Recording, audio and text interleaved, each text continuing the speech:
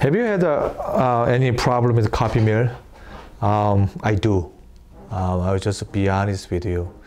The copy mill meaning after they place implant and uh, we made the prototypes. Either dentist made it or we made it, the prototypes. To period of time, patient have to wear it and then we see the size of teeth and color of teeth and contour of teeth.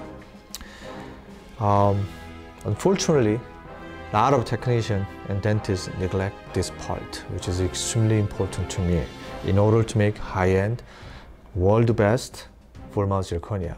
Do you really want to know about this today? Watch out. Okay, thank you.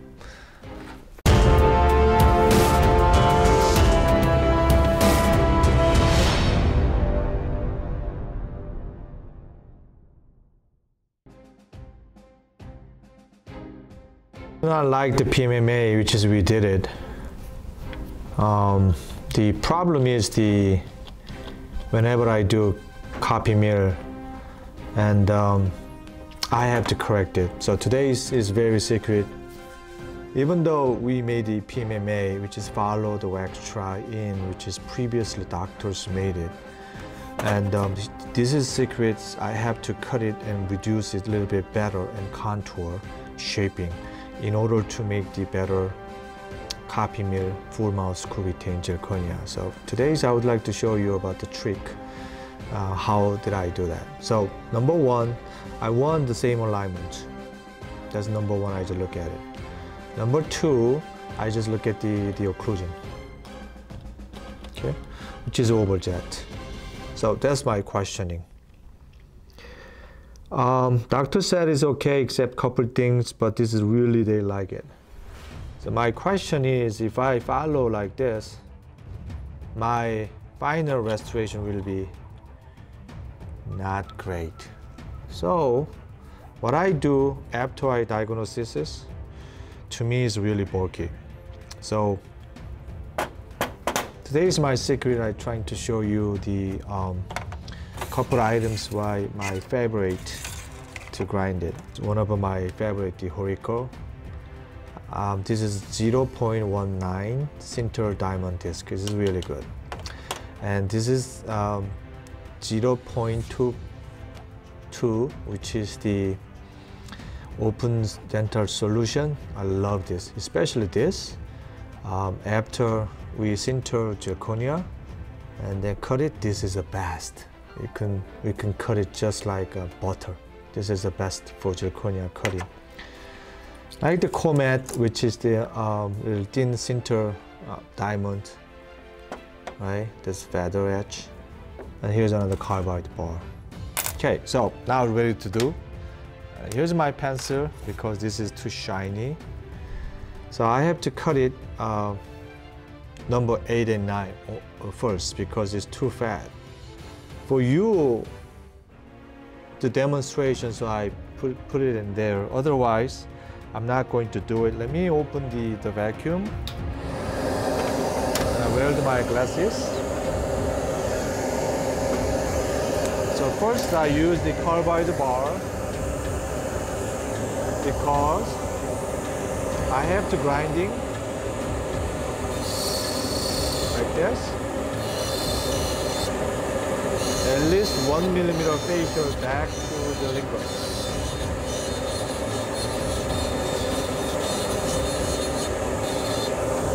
See? Thickness difference. So one side done, and then I move to number nine as well. So I trim it, same as number eight.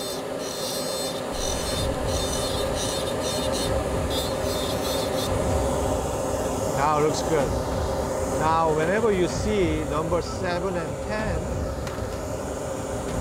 is 2 out. Okay?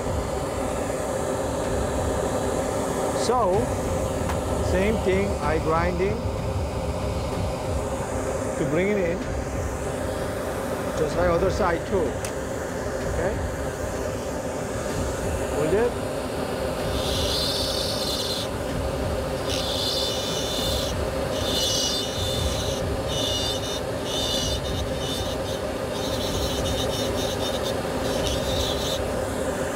See how much he's bringing in? Right now, this lateral, number seven.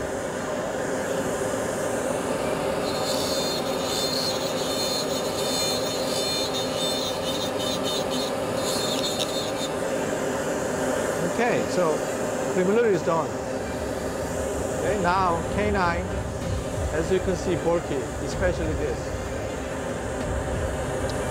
Same thing here too, so I contoured it.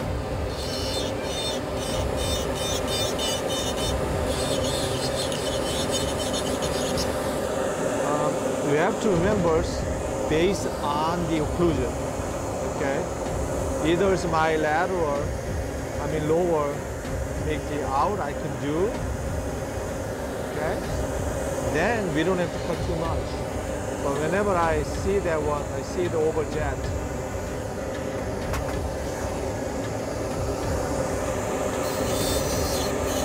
So green in 89, and 9, and then 7 and 10, and then 6 and 11. The other side too.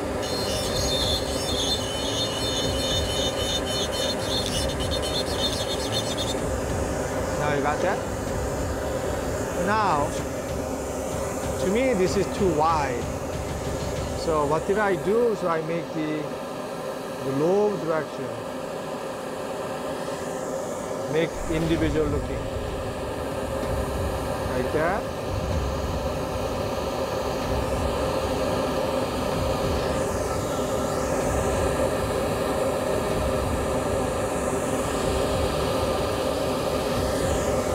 Okay.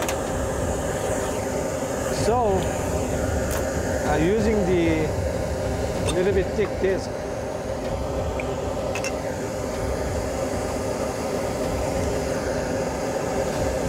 Twenty-five thousand or twenty thousand RPM. So I a little bit section it in between tools. Too, too strong, so I a little bit more down 1.9. Better.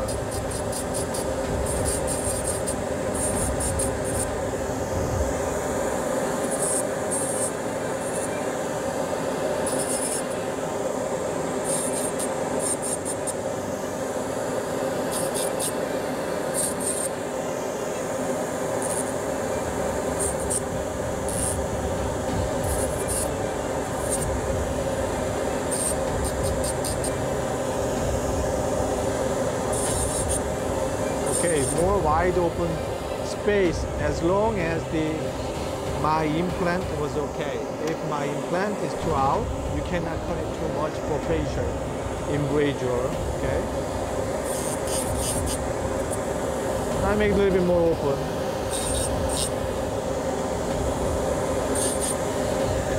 Okay. Then I use the little bit more thin disc.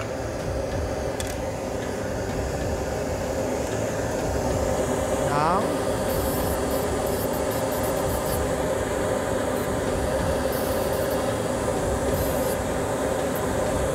so make more, individualize it, so my scanning people will get better. I see here's a really bulky, so I will roll in.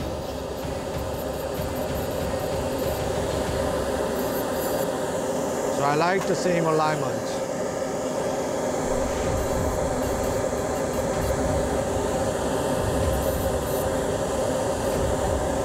Okay, getting there, right?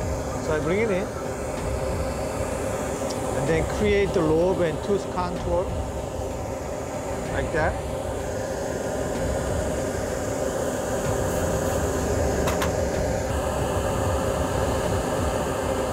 That one is finalize it, the better PMMA to make the highest aesthetic. Right? Number two, so I have to grinding a little bit more embrasure and make a individual looking.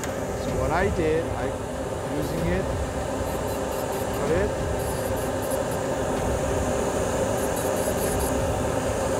As long as the implant side is good, now is good. Okay?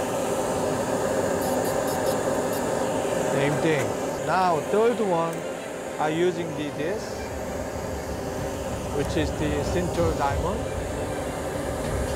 Make a little bit higher. The better contour.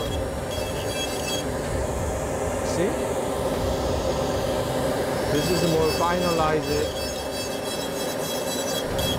For either one, when you make the convex, I want to make convex. When I make the flat, I have to make the flat. When I make the two lobe, I have to make two lobe, which is symmetric. That's what I'm doing.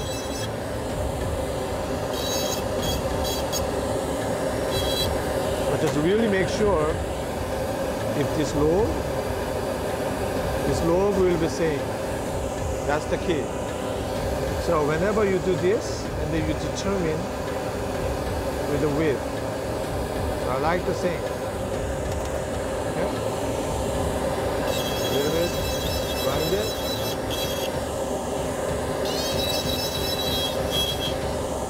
Now, roll in the lateral toward the distal area. Like that.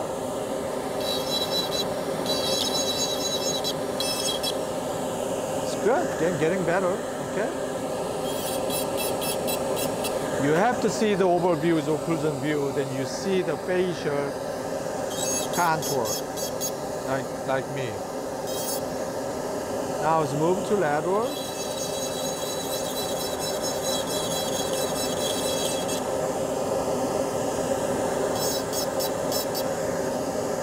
Now move to canine to canine. Here's a little bit bulkier than this, so I have to grinding this.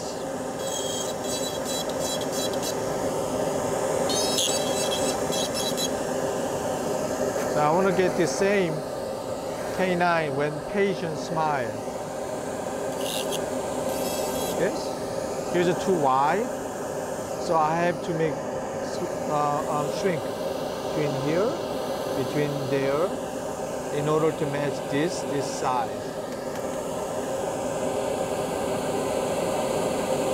Okay? And not only that, the lateral, this one is the tuck in, then the other side, I make a little bit roll into the distal area like that.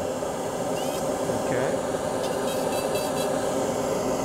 Good. Then, another times I use Like I said, decrease it to strong. 1.6. 16. Like that.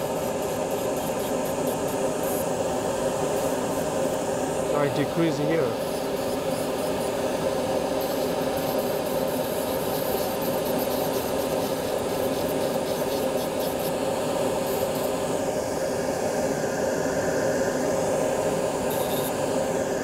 Now you can get the better shape and contour.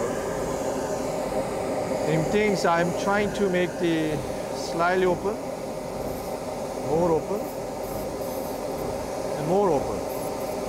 Because the contact zone is here. This, this. Okay? Mirror image. One side, the other.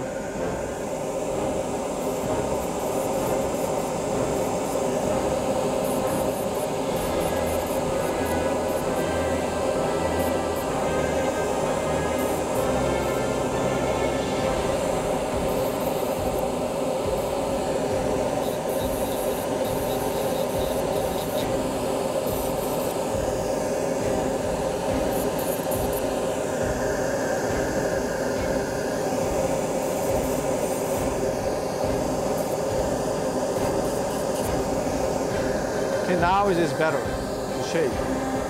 Now almost done, we can put it into um, scanning. Because the premolars, proper corridor is fine. The only, th only thing is bringing in the facial and then make really natural lifelike restorations. Regarding lower teeth, the same things. I can open it here as long as I have an implant. Position is good, this is good. So I can add it here, I cut it, cut it, cut it, cut it, and I can show you the label. Okay.